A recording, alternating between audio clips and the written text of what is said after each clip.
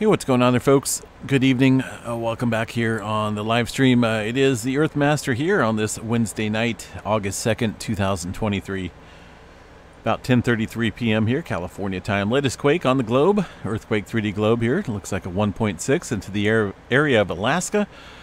Also, uh, some movement kicking up here along the Middle America Trench, there in the red flag. Did see a little bit of uptick here across the area today uh, including a 4.0 down here. Looks like around South Island, New Zealand. Let's go ahead and jump in there real quick, see what's going on there. Um, across the area of New Zealand, real quick, as we pull in the GeoNet servers, notice a 4.0 coming in. South Island, uh, just outside of Haast area. Looks like uh, there was a few reports being felt here across the area of South Island, New Zealand, about 60 reports or so. Mostly weak to light shaking uh, from a 4.0 at about 41 kilometers deep. Had that been a little bit more shallower, then uh, we'd be looking at a little bit stronger event, at least far as the uh, felt reports go. Uh, look at the earthquake drums here. We'll obviously show that four pointer here across uh, the South Island area.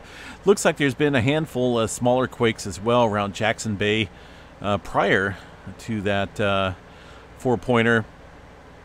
Uh, so things stirring up here slightly across South Island specifically, uh, mostly south of the Alpine Fault there across the area. All right, California area. Got anything uh, going on out here? Of course, we had that uh, four-pointer, 4.1 uh, last night. Handful of aftershocks. The last one, though, about 5 o'clock this morning, so we really haven't seen any further aftershock activity there across the Salton Sea region of Southern Cal. Uh, a couple smaller quakes here across the area. Mostly uh, looks like it's just off the Elsinore Fault, which still remains pretty quiet. We haven't really seen any earthquake activity for the most part across this fault system, which is very rare. Uh, further up north, across the area of Ridgecrest and uh, the rest of Central California, very small earthquake activity across the region. With a handful of smaller quakes there outside of Lake Tahoe. One further earthquake here outside of the Petrolia area this evening, 2.6, 27 kilometers deep, right into the Cascadia mega thrust area. A little bit of movement there off the Blanco fracture zone as well. That was a 2.5 from this morning. And uh, look at the activity here across the region of the Cascades. A little bit of movement across Mount St. Helens, Mount Rainier, and also up around Mount Baker area. Uh, this is all very small microquake activity, but a slight increase there across the Cascades. Uh, a look at the tremor map here tonight. Let's pull up the Cascadia tremor, and uh, we'll take a look and see what's going on. Uh, far as the Cascadia tremor goes, stand by for a second. They've been kind of slow here. Something's going on with their network, as far as the uh, the uh, delay time. 226 that's the total amount of epicenters, a little bit here in Washington, Oregon, and Northern California. Now, the Northern California activity there directly due east of that 2.6 that we've seen here uh, earlier this evening. And uh, obviously, tremor activity does apply further strain upstream, and if there's enough stress upstream uh, to produce to produce some earthquakes, uh, obviously they will pop off. 2.6 for now, but overall tremor activity uh, somewhat elevated there and continuing to build up for the next mega quake there across the area of the Cascadia. Uh, Yellowstone National Park, a couple smaller earthquakes from this morning. Uh, let's go ahead and double check and see what we got there from the Yellowstone area. There are the earthquakes in question from early this morning. Since then, it looks like maybe we've seen one more earthquake. For the majority, though, this earthquake activity very small uh, minor earthquake activity around the one range or so or below. so these are not big earthquakes whatsoever across Yellowstone. Just a slight little uptick there outside of Yellowstone uh, Lake. All right, uh, further across the region here, mostly smaller microquakes across Texas, Kansas area, and maybe uh, Ohio. Aside from that, let's check out the Caribbean here. We did have some further activity here off the coast of Panama. This is amongst the Cocos Plate and the Nazca plate. We got two separate plates here. Nazca plate, the bigger one here, and the Cocos plate, the smaller one. This is out on a uh, uh, kind of a fracture zone here. This is the, uh, oh, it's kind of hard to see it here, but you see this red line. Uh, that activity striking about eight kilometers deep earlier this evening. Now, we did see a handful of smaller quakes there across the Middle America Trench as well. This is a region that did see quite a bit of activity there across the uh, Gulf of Fonseca uh, over the past week or so. So just kind of watching that. I still think something bigger is brewing across the area. Not really seeing any major swarm there across the Gulf for now, but uh, just some earthquake activity ramping up there uh, off the coast of Panama. A little bit of movement here off the coast of uh, Puerto Rico as well. Nothing major going on, no major swarms. South America region there. One earthquake, at least according to the USGS. Uh, 4.1, but the EMSC models here shows a little bit more activity in the 2 and 3 range across the area of Chile. All right, 1.9 Alaska. Not a whole lot of movement occurring there, but we are seeing some deeper activity quakes here into the Kuril Kamchatka Trench. Now look at this here. Uh, got a 4.3 earlier this afternoon, almost 400 kilometers deep here. Uh, well inland away from the plate boundary, but this is a subduction zone, of course, so uh, we do see a lot of deeper quakes here away from this area, but that's just going to add further strain upstream here across the Kuril Kamchatka. we got to watch out there for some uh, mega quake potential. Uh, the Filipino plate here, very quiet. Not a whole lot going on across this area of the Mariana Trench or the Izu Trench here lately. Most of the activity clustered across the Indonesia Islands area. There's that four-pointer South Island. Not a whole lot of further act, uh, uptick here across the Fiji area or the Tonga Trench for now. Uh, Java Trench has backed off a little bit here across the uh, Sumatra region that has been active over the past couple days, but things quieting down. Uh, some further activity here across the Red Sea region where we did see a 4.4, 1333 and 13 seconds. Those are your lucky lottery numbers. Maybe the mega mega millions uh, jackpot there. Uh, might want to guess those numbers. They're pretty cool. 4.4, 10 kilometers deep there into the uh, uh, Eurythe- uh, Reth- oh goodness, I can't remember the exact pronunciation of this area. Uh, Eritrea, I believe. Uh, either way, this area has seen quite a bit of uh, earthquake activity here recently. Uh, pull up the uh, the all, at least somewhat of the all magnitudes here, where it did see a 5.6 and some other fours out here across the area. Again, the latest at 4.4 earlier this afternoon, uh, just off of the divergent boundary. Uh, earthquake here into Turkey within the last hour, 4.2 in the red circle. And somewhat of a moderate earthquake here outside of Crete, Greece, uh, just off of the plate boundary. That earthquake coming in uh, earlier this evening. So things amplifying here across the area. Now, this 5.8 is not a legit earthquake. It's still up on the globe for whatever reason. Uh, but for some reason, whenever the EMSC models put out earthquake data for Spain within this area, whether it's a 3 or maybe a 4, they'll show a larger size magnitude than what's being reported. So it's a little error, a little glitch uh, in the Earthquake 3D program, I believe, but that 5.8 did not occur within this area. So ignore that, but definitely activity there across the uh, Crete area and areas to the east around Turkey. Uh, it's movement well off the coast there of Greenland. That earthquake uh, really not showing up here across the USGS map. But we did see some activity with a 4.2 earlier. And uh, what do we got? 2.5 stirring up here in California currently as we speak about this. Look at that.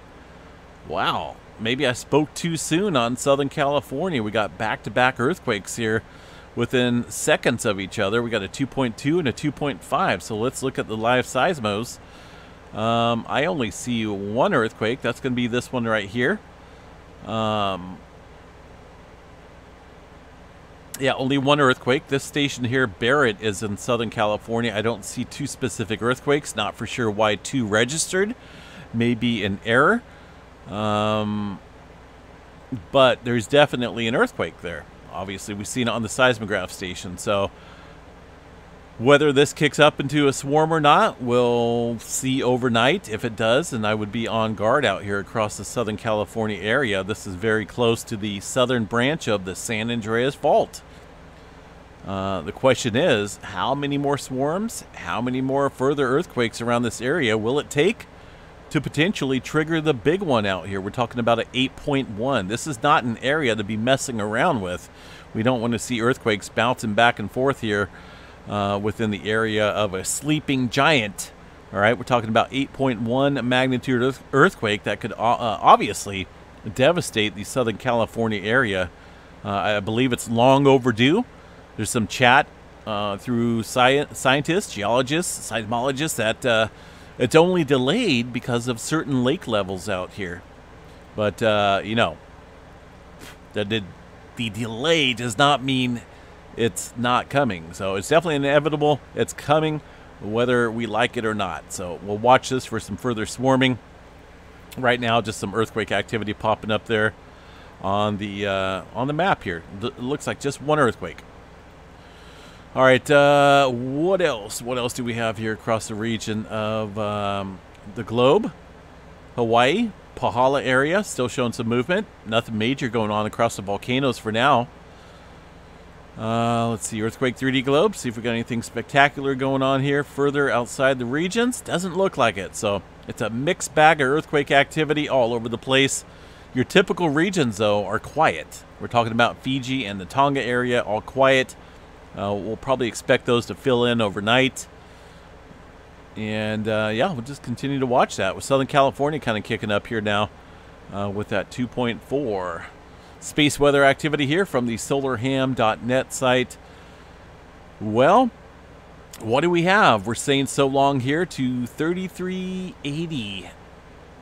See you later, buddy.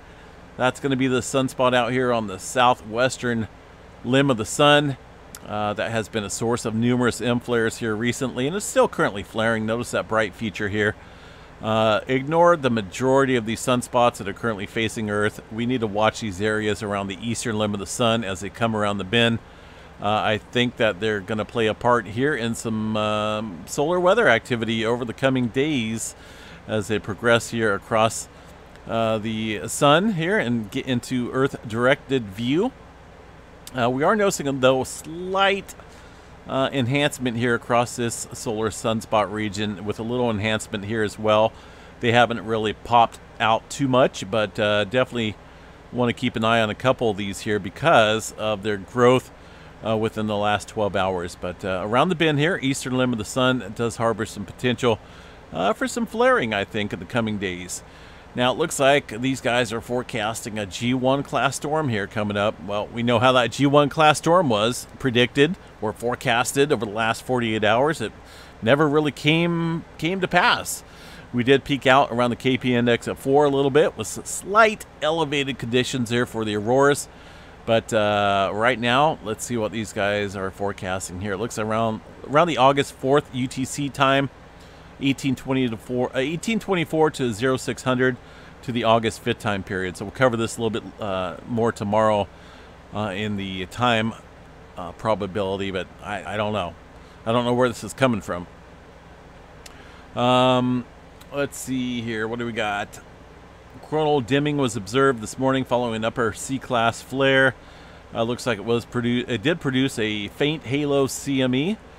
Uh, overall, that's not that impressive, obviously. However, a passage path past Earth may be possible within the next 72 hours. So there's the answer to my question. That's coming from 3386 uh, with a, a, uh, slight coronal uh, mass ejection there. We'll watch that, though, and see if it uh, does trigger anything across the polar regions. We're not really expecting anything major in terms of the uh, auroras, but hey, a little bit of uptick coming in, potentially. All right, 99% chance for a C flare, M flare at 55, X flare around 10%, 10% proton event possibilities as well. The main culprit, 3380, which is now scooting off uh, around the western limb of the sun, uh, harbors about the most complex structure there with a beta gamma class magnetic uh, field. But again, we'll watch these areas around the eastern limb of the sun here in the coming hours and days.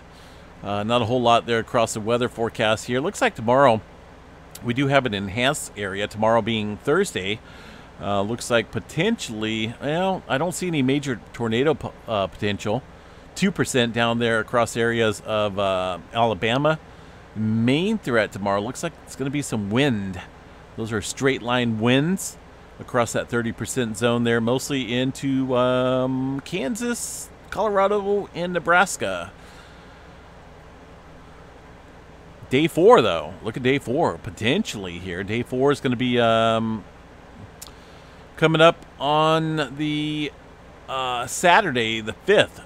Potentially a severe weather breakout here across the area of Kansas. Uh, now, that could include, um, you know, many different uh, options here for severe weather. We'll continue to watch that though as we head towards the Saturday time frame. Right now it's a little too early, but the Storm Prediction Center here is forecasting a potential severe weather threat across this area. Uh, come Saturday into Sunday, that's the weekend. All right, what do we got here for the assembles across the states? Any major cool down coming up? Any major heat waves? Well, we're pretty much neutral outside here in California right now. Uh, got 72 degrees, not bad, but we're supposed to stretch up here in the weekend in the 105 degree range or so. And looks like uh, that's going to be Sunday and a Monday. Notice the high pressure ridging out here along the west coast. Some cooler temperatures out here across the Midwest and the Great Lakes area. Notice that troughing. That's going to be the dipping here observed with the jet stream, bringing in some cooler air, much cooler air. Goodness. I bet those folks are going to enjoy it. Uh, that's stretching across a portion of the west out here. Not quite into California, but that's going to scoot the high pressure down south.